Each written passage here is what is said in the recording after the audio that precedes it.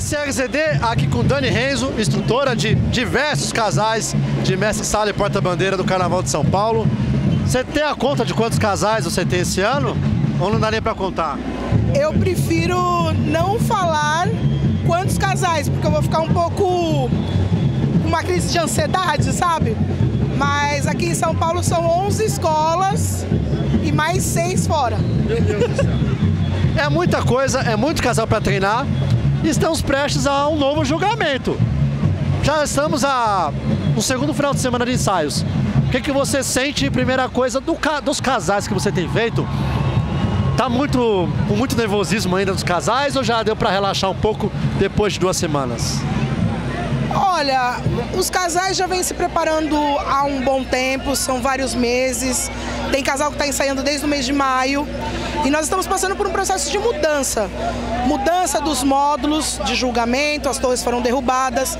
Então, com a vinda dos módulos, o espaço de dança do casal ficou mais reduzido por conta do campo de visão dos jurados. Então, a gente tem que ter muita preocupação com isso. Onde vai começar a coreografia, onde vai terminar. Tem a adequação ao novo critério de julgamento.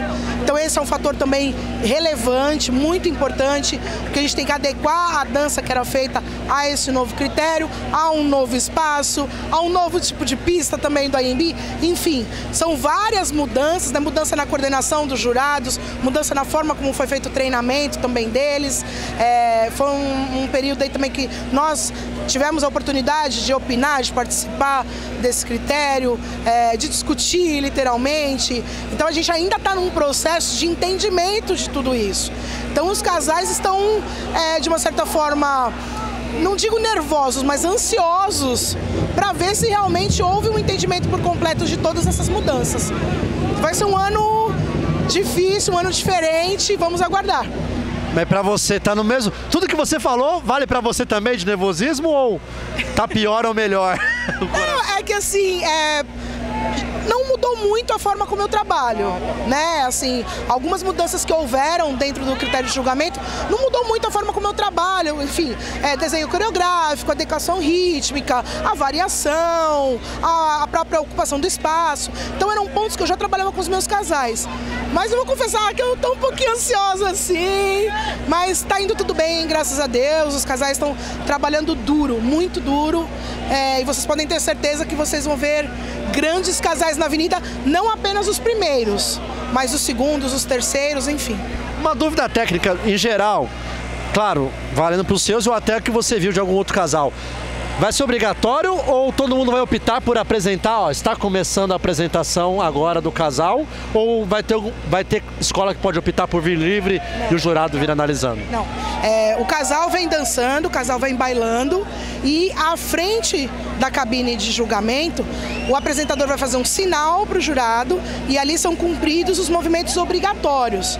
Então ali tem uma série de movimentos, como abertura de pavilhão, horário de horário, giro no próprio eixo, o jogo de pé, e também aqueles pontos que eu falei anteriormente, a variação rítmica, a ocupação do espaço, o desenho coreográfico. Então ali tudo isso é julgado e após o término dessa sequência, o apresentador se despede do jurado agradecendo e sai. Isso todo mundo tem que fazer, isso é obrigatório. E continua dançando normalmente até a próxima cabine. E se o jurado verificar algum erro após esse espaço de julgamento ali na frente dele, se ele verificar alguma coisa após o apresentador se despedir, o casal também é despontuado.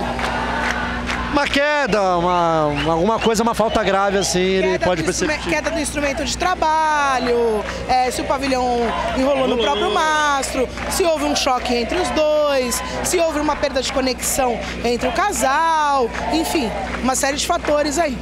Muito interessante, muito obrigado Dani por tirar essas dúvidas para o nosso leitura SXD, porque está chegando o carnaval e é bom já esclarecer o que vai acontecer na parte do julgamento aqui também, né? Fiquem ligadinhos nos casais de São Paulo porque eles estão arrasando.